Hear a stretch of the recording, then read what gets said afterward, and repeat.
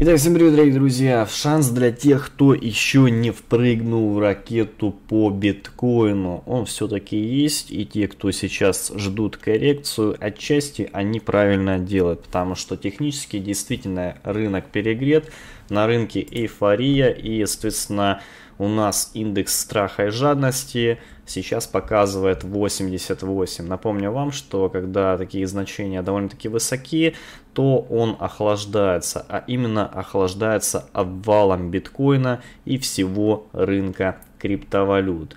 Что касается, в принципе, рынка криптовалют, то сейчас мы видим, что рынок находится в зеленой зоне. Действительно, за последнее время не только выровнялись значит, альткоины, ну и также выровнялись DeFi проекты.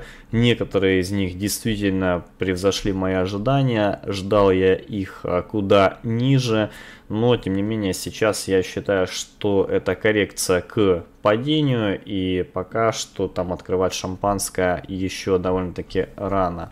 А что касается, в принципе, рынка, если мы будем брать тренд, то действительно все идет к тому, что если биткоин начинает падать, то падать безбожно и в 2-3 раза больше начинают альткоины. Это действительно так, и поэтому сейчас нужно быть на рынке предельно аккуратным и осторожным. Кстати, некоторые альткоины, которые пампились ранее, такие как Monero и даже обновили хай 2019 года и вернулись к значениям, которые были в 2018 году, сейчас стоят на месте. Это говорит о том, что альту выравнивают а, в преддверии коррекции по биткоину, чтобы она не так плохо выглядела.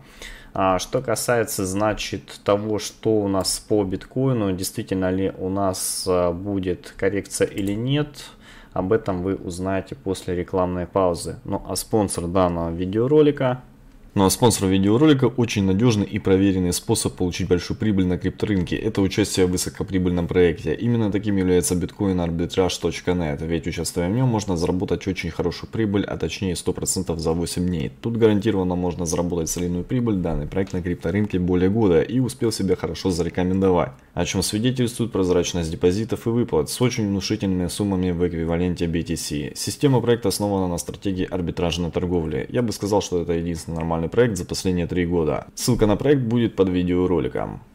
Если же мы говорим про биткоин, то по биткоину сейчас на данный момент застопорилось движение, рынок перегрет, естественно, пока что биткоин не может преодолеть отметку 16 тысяч долларов за одну монету.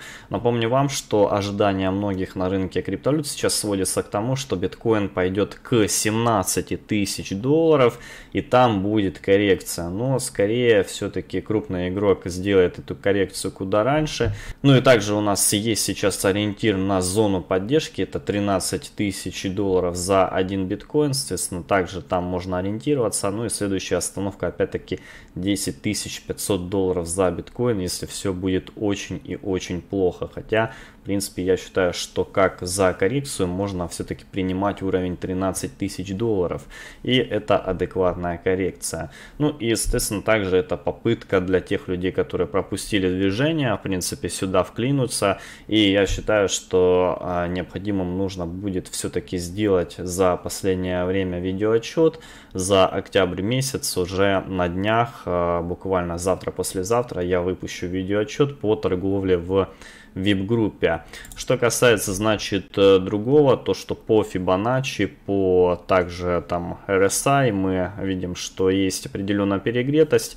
Когда по RSI а, достигается перегретости сопротивления все-таки здесь не пробивается, то мы идем на коррекцию. Соответственно, это также говорит о том, что мы можем еще немного опуститься. То есть это все говорит в пользу коррекция.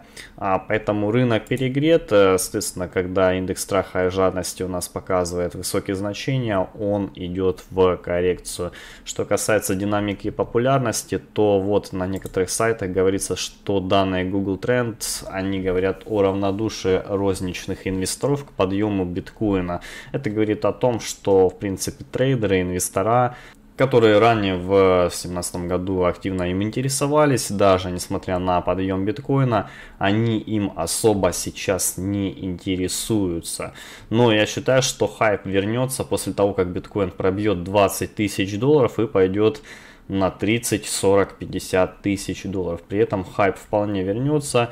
И очень интересно, что есть такая конспирология. У CoinMarketCap были объемы в 1 триллион долларов. Буквально вот это было на днях. Мы увидели эти объемы и вполне такая капитализация может быть в скором времени. Поэтому в принципе здесь э, действительно конспирологический рынок заделан очень хорошо. А, и, естественно, мы можем увидеть эти а, цены по альткоинам куда выше, нежели они есть сейчас. Но к рынку необходимо подходить с умом. Если вы холдер, то, понятное дело, здесь необходимо держать тот же XRP. Если вы трейдер, то здесь необходимо готовиться к коррекции и подтягивать стопы. Что касается, значит, Fidelity, то она наймет свыше 20 разработчиков на фоне интереса институционалов к криптовалютам. Понятное дело, что про институционалов сейчас кричат э, везде, а несмотря на то, что институционалы уже зашли давно в биткоин и купили они этот биткоин именно на отметках 4000 за одну монету. И сейчас, когда говорят, что институционалы заходят, ну, как бы я не считаю, что они покупают биткоин по завышенной цене, который взлетел в 300%. Что касается мыльного пузыря тизера, то капитализация стейблкоина USDT она превысила 17 миллиардов долларов.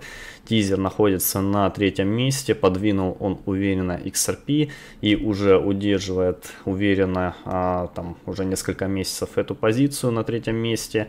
И, а, соответственно, сейчас уже а, капитализация тизера устремилась к 18 миллиардам USDT. А докуда, в принципе, капитализация тизера дойдет, пока что непонятно. Понятно, что это инструмент, это рабочий инструмент для трейдеров.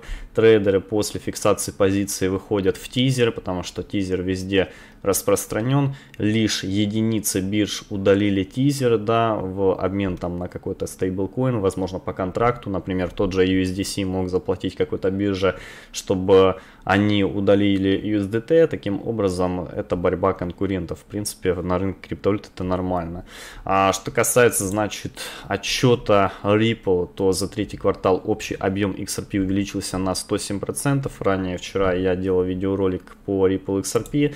Соответственно, какой был setup? Setup был таков, что с сентября у нас по сегодняшний день а, набиралась позиция крупным игроком, были фитили, а, то есть если вы посмотрите на график XRP, а, когда у нас были фитили, фитили зачастую были тогда, когда мы шли хорошо наверх. И сейчас эти фитили опять-таки повторились. В то же время здесь выбивали стопы, да, а доходила цена монеты до 22 центов, но ниже ее не опускали. Соответственно, мы можем сказать, констатировать, что, что игрок набирал позицию и, естественно, он готов выдвинуть ее на сопротивление 33 цента. Напомню вам, что 33 цента у XRP является главным сопротивлением. И здесь уже начать глобальный аптренд, цена а, монеты XRP может достигнуть вполне доллара в кратчайшие сроки при таком раскладе. А, также можно полагать, что когда биткоин будет сдуваться после а, значит, своих максимумов, возможно максимумы будут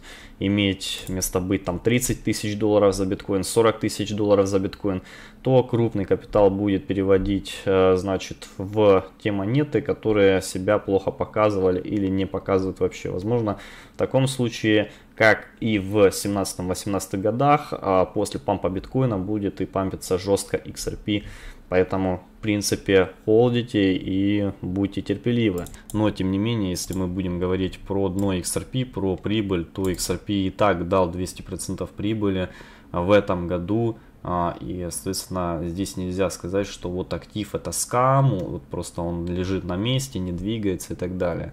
Да, он, в принципе, не такой подвижный, он не такой интересный, как тот же Neo, а, который летает, например, с 5-6 долларов до 25 долларов и дает, конечно же, больше прибыли, или тот же эфириум, но, тем не менее, у XRP другая философия здесь в графике, у XRP философия такова, что он стреляет тогда, когда никто не знает, и делает это он очень хорошо. Инвестора при этом, которые терпеливы, они обогащаются, а те, кто распустили нюни из-за того, что вот график, в принципе, вообще никак ни рыба, ни мясо, они, конечно же, теряют деньги. Но, в принципе, это как и в жизни. В принципе, в жизни то же самое. Кто распускает нюни, тот и проигрывает. Поэтому здесь необходимо набраться терпения. Ну а с вами был Криптофтей. Всем удачи, всем пока и до новых встреч.